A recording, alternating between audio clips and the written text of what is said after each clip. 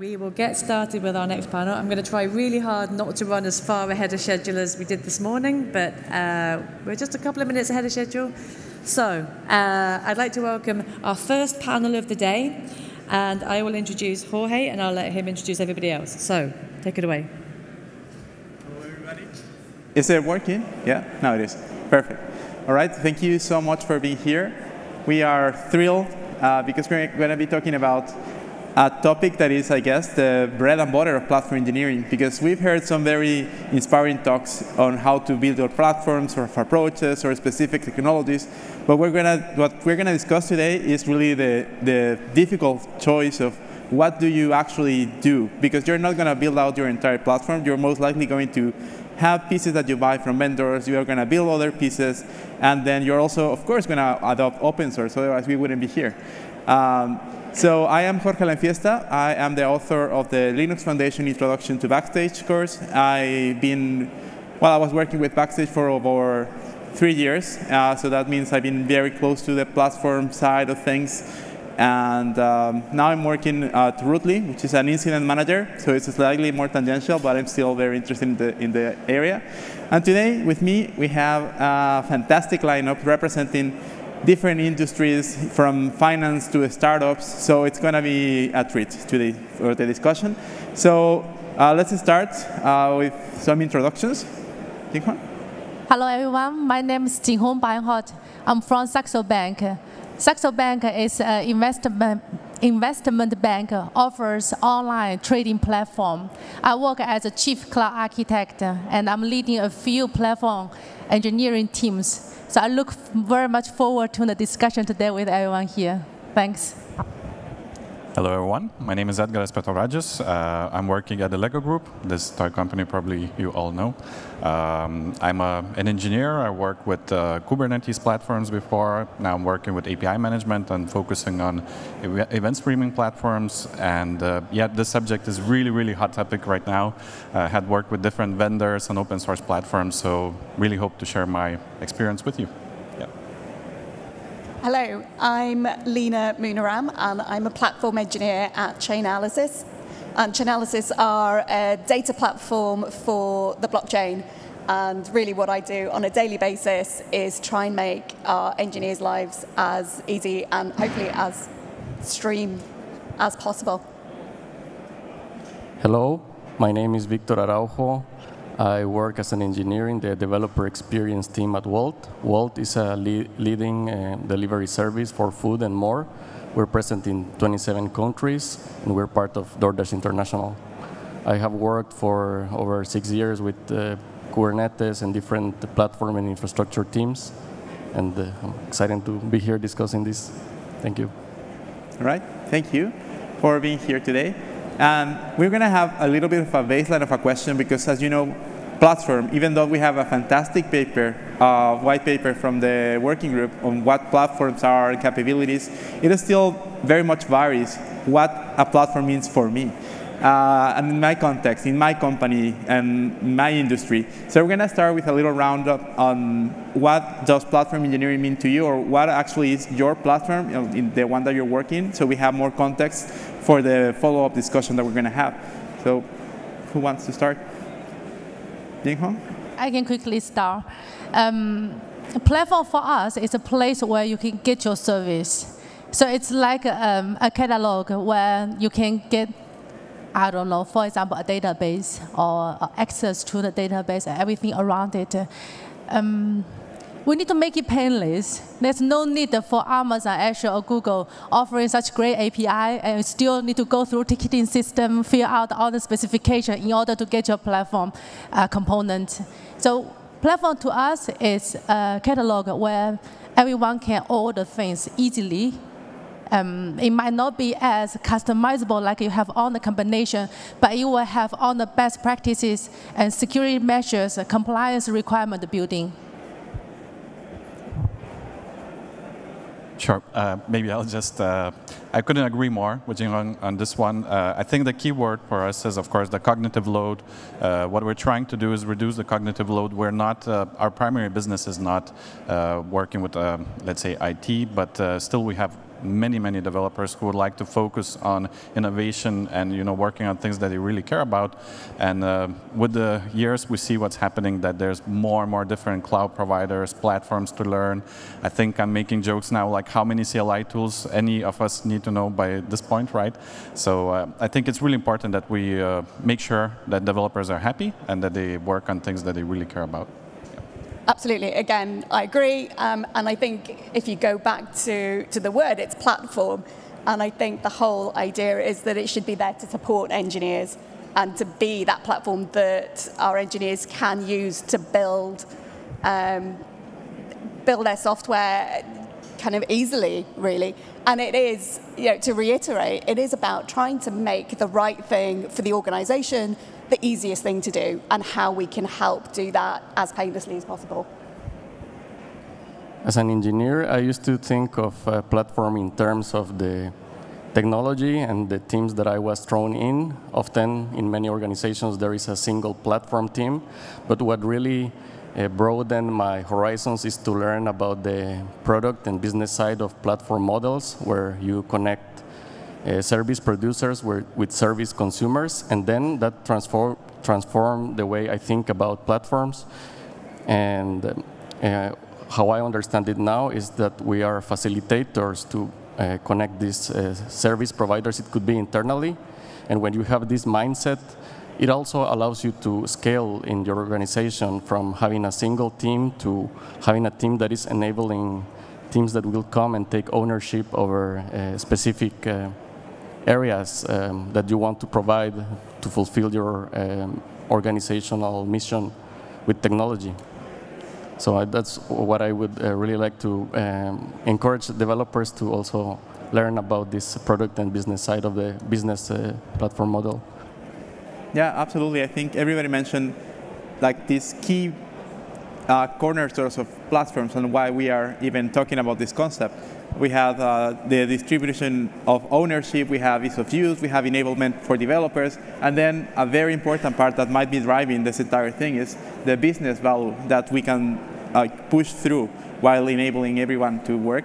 Uh, and of course, this is a very difficult endeavor, as you have experienced in your own flesh, and that also requires a lot of coordination and collaboration.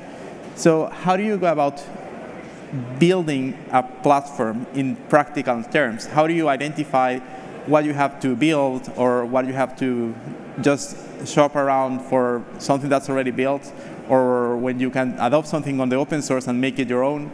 Like, what's your initial step when you are like, confronted with this blank page? There's no platform and we want to get somewhere. How do you start? Yeah. Sure.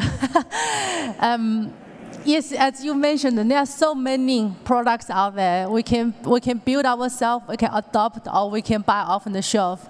Um, I think many companies probably face similar thing, like uh, just compare how much effort is to engineering these components compared to how much does it cost to buy it. But uh, for us, we take both into account, but we're also thinking about the operational cost. So when you buy something, does it mean that you, it just works forever? No, you still need to maintain it, you need to upgrade it, you need to customize it. There's so much to it. So we focus a lot of on customization and scalability. When this makes sense, we we can buy things, but if it's an open source product which has a great community support, good documentation, we also don't hesitate to, just to adopt it. Yeah, I think uh, the first step is to go to the drawing board and think about what you want to achieve with your platform in your organization because the business will be investing a lot of money and your engineers will be putting their sweat, blood, and tears to uh, make this happen. So um, uh, some common goals might be uh, velocity, developer satisfaction. Uh, it could be that uh, this velocity will give you an edge in your business. It could be uh, security, reliability, many things. But I think the first step is to think what you need to achieve and why this investment is going to be justified in the end. I think absolutely. Um, but I think also to kind of keep in mind that the platform isn't necessarily just one product. And it isn't necessarily something that you will need to adopt. It could be, you know, you, most organizations already have any number of tools that are being used by, uh, by our engineering um, or engineering teams, and it's like, how can we perhaps streamline those processes and look at the friction already within um, the existing platform or the existing tool set and try and make that perhaps a more cohesive whole. And absolutely, as Victor said, is if you have um, the, um, your end goal or your end destination in mind of what you would like it to be, that certainly helps. And it's something that's been mentioned in a number of the talks today, that whole platform as a product approach. And it is about having a roadmap and engaging with um, your end customers, through our engineers, as to where we want to go and the direction that we want to take platform in I think those are really great points. Um, if I could just summarize what it meant for us uh, and what it means for me is like, is the supply and the demand, right? The supply is the engineering muscle that you have around you that you can have access to. And then the demand is, of course, those who will use the platform. And I think when you choose is the gap that you need to bridge, right? So like, if you can build everything yourself, that's awesome. And you can maintain yourself. Most likely that's not going to be the case in most of the times, but uh, if that, that's the ideal scenario, right? But if you cannot do that, then that's where you kind of start shopping around and see what is there in open source, what is there in closed source, and so on. Uh, and I really like that you mentioned maintenance, right? Because building something new and shiny, it's really, it's really great, and uh, it's not that hard usually. Um, it's really the maintenance and like those years, uh, long, long years, uh, where the platform needs to survive and evolve, is that where I really see the biggest challenges. And that's actually really ties into the uh, open source and the vendor, that journey that the product goes. So, yeah. Yeah, fantastic. Uh, so there is this concept that you mentioned that is kind of invalidating uh, my question, which is great. Uh, that there, and, and it kind of came out in different questions on how there is no tabula rasa, like there is no like a, an empty state when we start building a platform. There's already prior art. There's things that we are using that we they are just there. So then when you build a platform, you actually have to take into account what is available and what people are working with before you can start like shaking things up. Uh, even if you just you have a clear goal of where you want to get, that adoption path is going to require some some effort, more than even greater than the technical side. So. Um, let's then take them like case by case uh, because that, that, way we can get some more insight on how you think about this problem. But uh, you mentioned, uh, Jinhong, that if you can find something that it's like ready to buy and that can be useful to you, you can just buy it because it's like a, a no-brainer that you wouldn't want to invest engineering time on building something that's already fitting your, your purposes. So I would like to know more about what kind of criteria would make that kind of ideal uh, vendor or ideal option for, for your platform when you decide, oh, I have to buy these components? If there's something where the vendor does will take us years of engineering to achieve, that is something we will buy. And to buy, to, to in order to invest on something, like uh, Ed mentioned, you need to know what you want first. So list out the, the requirements what, what, what's must have, what's nice to have, etc. And then you, you can start really considering, is this something we can build ourselves? Are there anything we can adopt?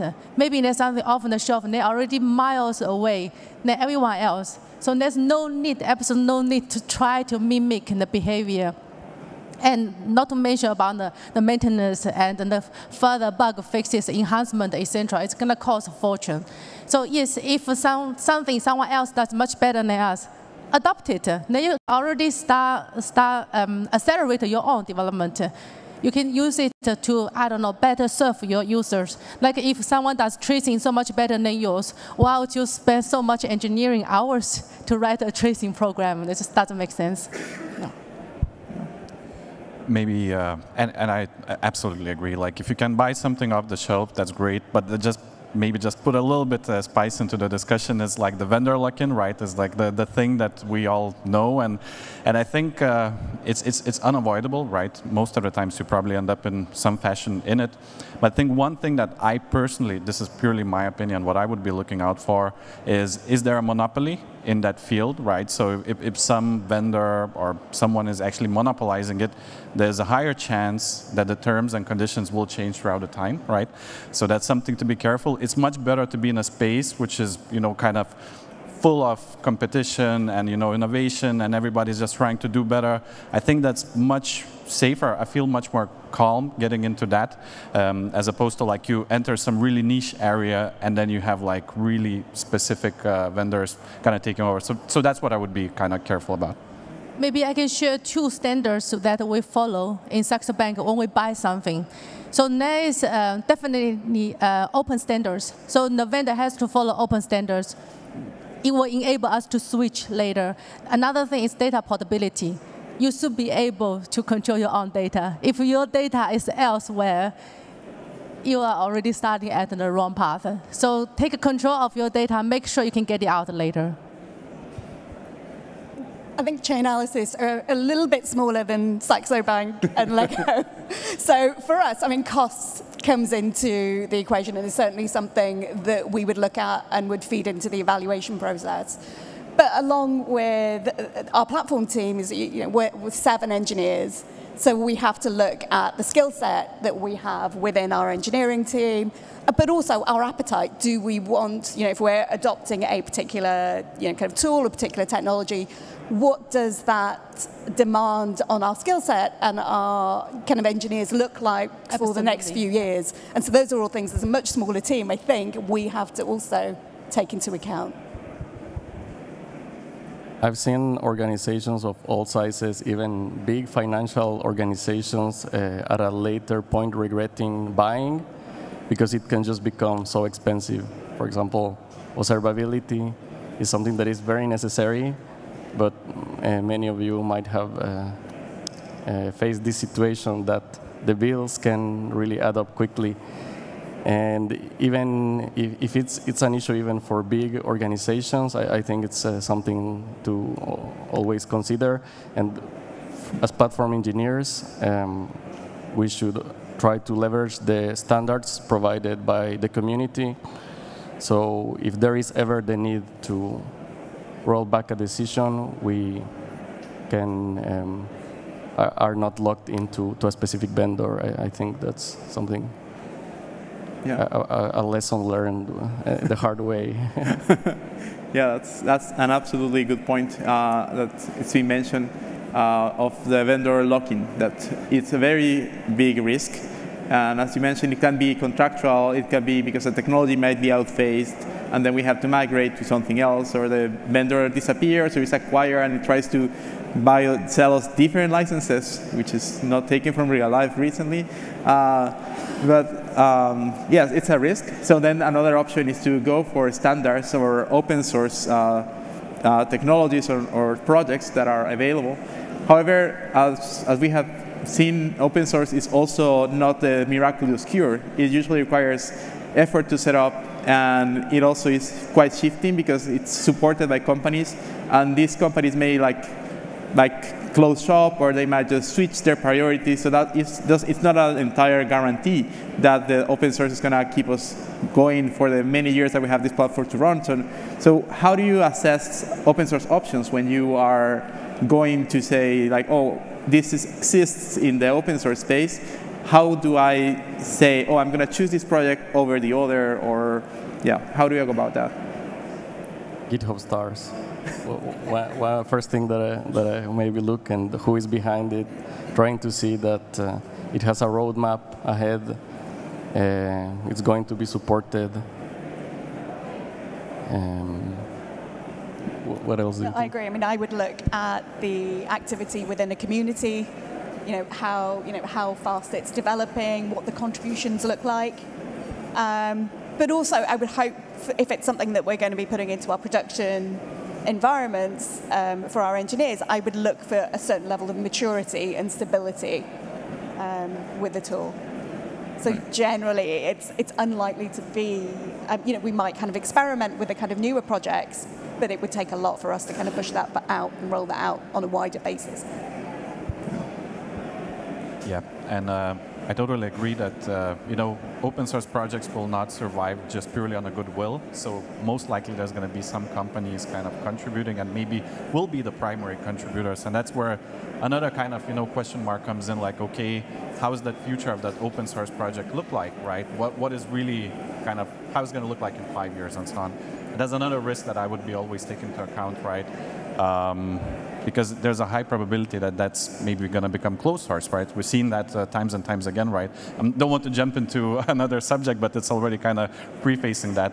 So um, it, it's really hard, I would say. It's really hard because ideally you would want this really sunshine scenario where everybody's just contributing and every, everything's open source. That's not really sustainable. And then on the other hand, you have like maybe uh, enterprises will just take it over and it's going to be not really an open source anymore. So striking that balance is really, really hard. I don't have like a you know, silver bullet for it, but it's just something that when you assess, you really need to kind of look into those both sides. I think we touch upon almost like all the area, active uh, community, and then need to have a roadmap, maybe also good documentation, etc. Um, we also look at yeah, who's behind, who, who are the big players behind the open source projects. Um, I actually much rather, of, from many of our assessment, is having big companies behind them. They might influence some of the roadmaps. However, because they are big, so they can support them financially. It's a sustainable way to going forward. Um, and one more thing we think about is the license. So, I mean, we have heard enough about uh, OpenTofu, OpenBao, etc. I'm glad all the Chinese cuisine got, got pushed forward to the world. However, I hope they, they get introduced in different contexts than, than this, than this one. So we we feel much safer if it's CNCF project. We know that there is environment for it to grow and uh, to, to navigate, govern it. So I think, yeah, there, there are many things we should consider before adopting any open source projects.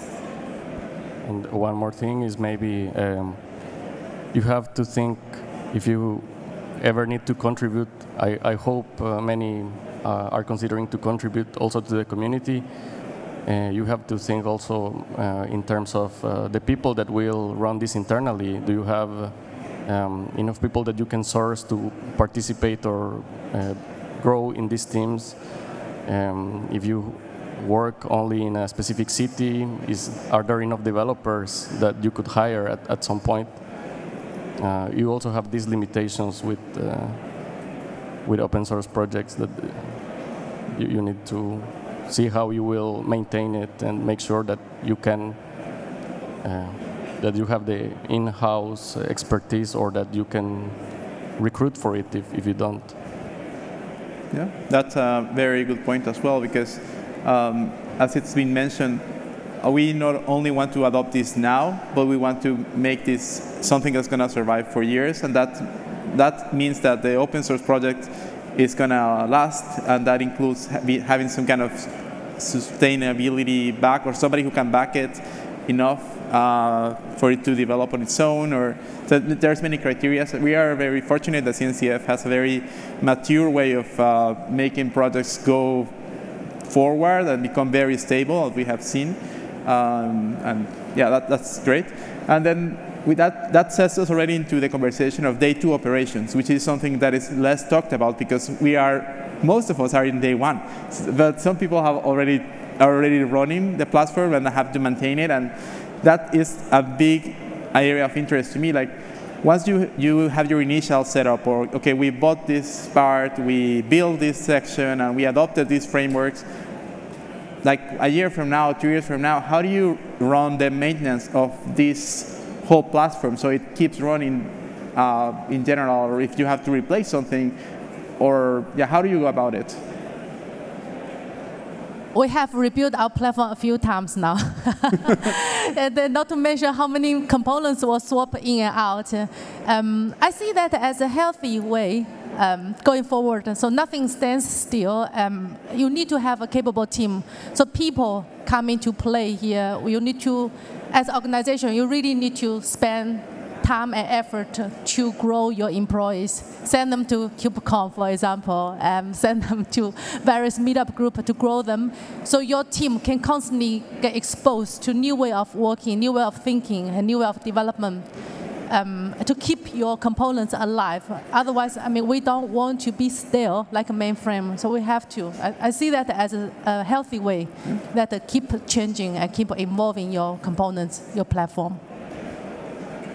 I think what is also oh, sorry, uh, what is also really really important, be it vendor or be it open source, is being very very close to the you know to the product.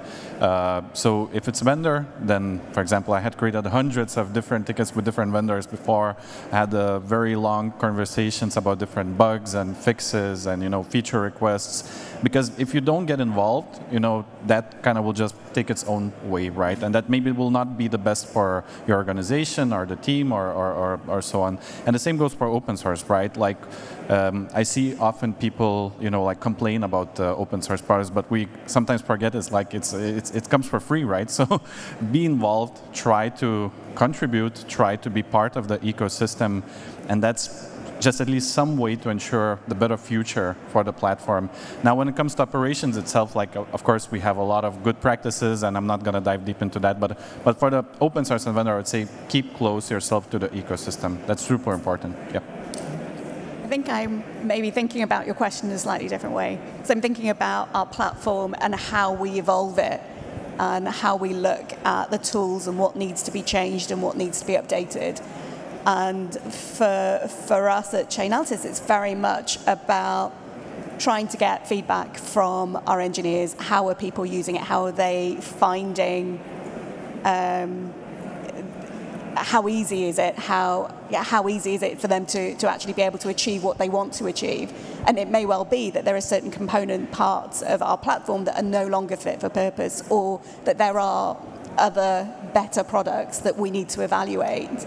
And really, that's our job plat- as a platform. We need to continuously strive to try and hopefully keep on top of what technology is available and how we can use it to uh, better support the engineers.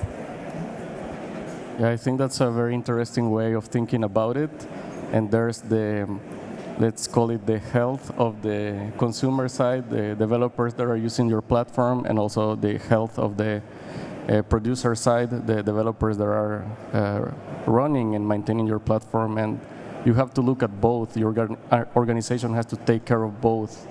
And um, make sure that the teams are well staffed, that you have uh, plans for uh, con continuity, keep training people, keep uh, uh, don't depend on a single person that if they leave the the project is uh, on a difficult situation. Yeah. All these. Yeah, those are all fantastic points, I, and I think it's, it's, it just broadens the perspective of even what I was thinking about with this question, because you, you started thinking with the, the idea of it's not wrong. Something didn't go wrong if you have to change your platform. It's normal and it's healthy that you have to replace it, especially in this phase that is just emerging. It's natural that in a year from now we're going to have a better product or a better technology or a better vendor, or even ourselves we have learned that this is something that we don't need based on either from the feedback of the users or because it's becoming too hard or too expensive. And, and then we have the perspective of, of having that like relationship with the people that we are providing us with services and I think that's really crucial to be close to your vendor or be close to the open source community that's building the project that you're uh, developing with. So that's a really valuable uh, insight. And then what you mentioned is getting ahead uh, the conversation, but it's the point that we're going to touch on now of how do you evolve your platform? How do you take it? Because you, you started the conversation with you saying that you have to have these goals. And then we decided to build it. We put something together. We are maintaining it. But it's very unlikely that we are, we are going to achieve our goals in the first iteration. We need to make this platform evolve towards something. How do you plan for evolution? How do you make this intentional change over your different components and the sources that they have? Um, yeah. If I must list two most important things, well, we always work towards two. Let's make the platform more accessible and more disaster recovery ready. So disaster happens, which we, yeah, we have encountered. so how do we bring the platform back up as fast as possible? This is something we constantly work towards too. Second thing is how to make the platform more accessible to uh, our employees, our, our developers. Because in the beginning, you, you focus on functionality. You get the functionality out, so they have this thing they can utilize. But it might not be as pretty. You might have, might have to access via CLI or API, etc. You want to make it as simple as possible for everyone. So they don't need to be an expert. They don't need to be a super user in order to use um, your, your functionality uh, provided by the platform. Uh, for me, when we start changing a platform, we try to take a cautious approach, uh, releasing it and testing it with some of our users before um, taking some uh, metrics and then seeing if it's the right way to go. And in that case, uh, be customer centric, be customer oriented. The, the, way not to do it is to introduce um, these expensive migrations in terms of time where it will take the time of all the teams to change to your new system and create a lot of frustration in the process. That's, that's the way not to do it. I could add, um, and it, I'm not the first one to say this, but like you know, eat your own dog food. So when it comes to the to the users, right? I had a kind of fun, funny anecdote where where we were preaching for the spec first approach for the APIs, and then some one of the users came and said, you know, this API that you have exposed is actually code first. So why are you even preaching that, right? So that was really, really kind of um, kind of a funny moment, and I think uh, it's really important. So you need to walk the way with your users. You need to put yourself in the shoes of your users, and that journey might you, you might start at here, and then it's going to end up completely different place. And I've seen that time and time again. So I think it's super important. Yeah, eat your own dog food, try your products, and also work together with your users. Absolutely.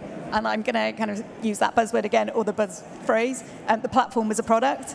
And it's something that we really try and work towards. It's not always easy. We don't have a product owner, um, a product manager for platforms. So all of our engineers, all of us, have to embody a little bit of product in our interactions with engineers. So it means that we have to talk to engineers, uh, find out what the issues are, and then try and build that into our roadmap for how we want our platform to evolve.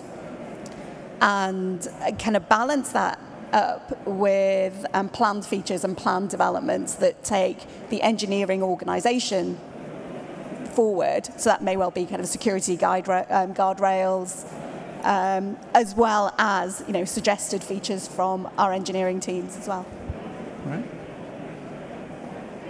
Yeah, you had something?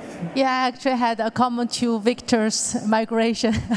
we just got through a huge migration from um, this pipeline pushed approach to GitOps approach. And that was a hell of a migration, but it was totally worth it. So if you guys are not GitOps ready, please use Flux or, or Argo. Then it will pay off in the longer run. So sometimes migration is necessary. Sometimes migrations can be good, yeah. yeah. But there are ways as a platform team that you can try and make that an easier process. And it may well be that, you know, we could invest time to make it, you know, a few click buttons rather than a few weeks of hell definitely. yeah, fantastic. Uh, yeah, I think that's, uh, I don't know how we're doing with time, but okay, then thank you so much. And if anybody has any questions,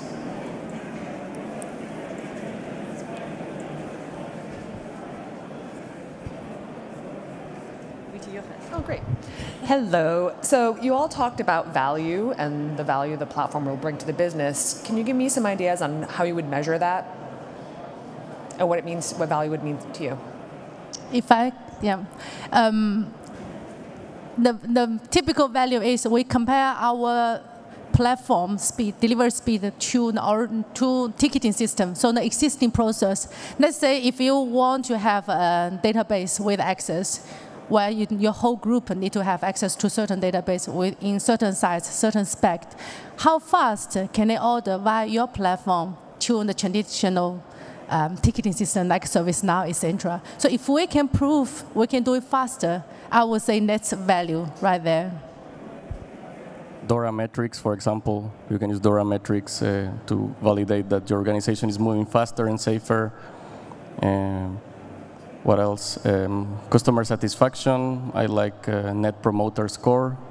You survey people and uh, you have promoters and detractors, and then uh, you make a sum there. And if it's positive, uh, you're doing good, and the higher, the better.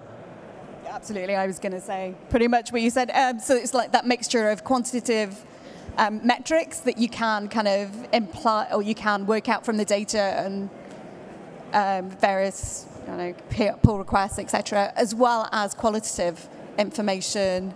Um, and I guess the softer side, you know, are how do our engineers feel about the platform? Where do they feel the bottlenecks are? And sometimes that can surface issues that you just can't find with the data. And I, I agree fully with uh, all the points, but I just want to kind of put a little bit that actually measuring is very, very hard. Um, and I'm not going to name the consultancies that were measuring developer productivity recently. I think that's really was a hot topic, right? And I actually think I, I tried really hard uh, to measure. I, I, worked a lot with observability of our platforms, and I really didn't find a silver bullet. How do you really measure that? So other than concrete cases, right, like somebody did a project this way, and now they did this way, and then they come back to you say, this is great. I, I don't disagree. Uh, Dora metrics are awesome, uh, but we really, when we look into data, we need to be very careful what we're looking at because there's always this uh, bias that we have in data. Hi. Um, uh, so you're sort of running like an um, internal product startup within your orgs. How do you market it and sell it within the orgs? Do you like use the carrot method or do you use a stick method? Maybe share some examples. For me, it's literally everything, whatever works. And sometimes it's, it depends on what initiative you're pushing out.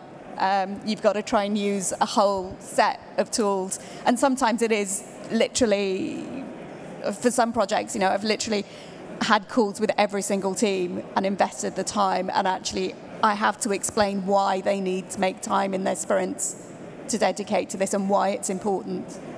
Um, so, yeah, everything.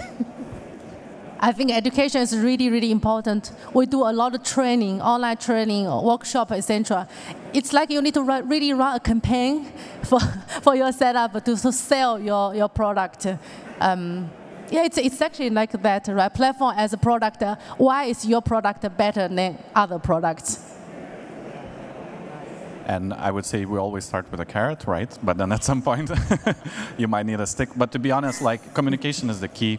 Um, I had some experiences before that when you go and really talk with the users, you find out that actually they don't adopt uh, because the platform is, is, is bad or is wrong, but just because their needs were not heard early enough um, and then you really need to listen carefully what is exactly blocking them from adopting it. So most of the time it's not going to be because people just don't want to. It's just because it's not making their life easier. And that's really the key why we need platforms, right?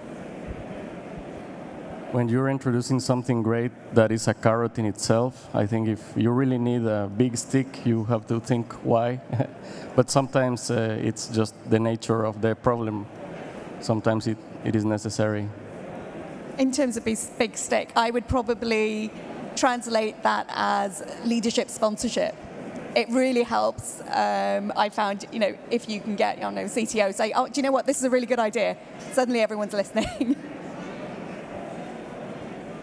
Hi. Is there any thought or any requisition from the management in your organizations about how the platforms can make the organization more resource efficient, more sustainable maybe? I think. So sorry. Uh, just to understand sustainability, you mean environmental sustainability or? In terms of resource consumption. Yes, yes, absolutely. So this is really, really important topic um, in our organization, and, and the efforts are constant. Uh, we really if we look really from engineering perspective, we actually start measuring like, okay, how much uh, you know resources we'll use what we run our applications. We we uh, done some efforts moving to different instance types. We done uh, different uh, investigations, like even programming languages. How much if you run it in this programming language and a different one. This is what we as engineers can do. There's much larger efforts around it, but uh, I think all of us can chip in at least a little bit. I can agree more. ESG is such an important topic. Thanks for bringing up. Um, we commit to to improve how how can we reduce emission and how can we, uh, for example, just why do we run in, run things in containers? Why do we need Kubernetes? Uh, to increase the density of an application we can run in, in each server. Um, why do we care about which language we write? It's just because one is more efficient than the other. There are many things engineers can do to improve the environment, improve our CO2 uh, emissions. I think we, everybody need to keep that in mind and try to build a platform to, to go towards to that. Uh, templating, for example. If you can template the way how you build application, put all the logic in, then people doesn't need to write everything from scratch small things like that can, can go a long way. I think we've got time for one last question. Oh, hello. Um, first of all, um, there, there is a big difference between the users of a platform and the users of another kind of products. I mean, the users of a, of a platform also have a technical knowledge. So it is possible to use that knowledge in the, in, into uh, getting a better tool for, for, for, for a whole organization. In this sense, an inner source strategy can be can come handy. So how do you incentive these kind of strategies? Inner source as in um, getting people from the developer teams to build for your ah that's a great question. Uh, first you have to encourage I, I think openness in your um, organization and you have to make sure that it is easy to contribute to your systems and you have to communicate this as well. And uh, I think you can notice people that are interested in, in the technologies when you are interacting with them on your daily work and uh, you can approach them if your organization allows this uh, to. Absolutely, and, and it's all saying at Chainalysis, particularly with kind of our platform, is really important given that there are only seven platform engineers um, serving the engineering department or engineering, uh, and th- we do that exactly by uh, kind of encouraging um, contributions to, to the platform. And, you know, as Victor mentioned, you know, you, you, see the same, generally the same feature engineers will contribute again and again. So we have like, you know, a, um, you know, kind of really keen engineers that, that do want to get involved. Um, but it is also a little bit, as we mentioned earlier, about uh, making our repositories and our the platform as accessible to um, feature engineers. So it does mean, you know, if we're saying that everyone has to have a great README and you know great documentation around it, we have to provide that for our repositories in order that it is accessible to allow um, the engineering, the wider engineering um, division to contribute.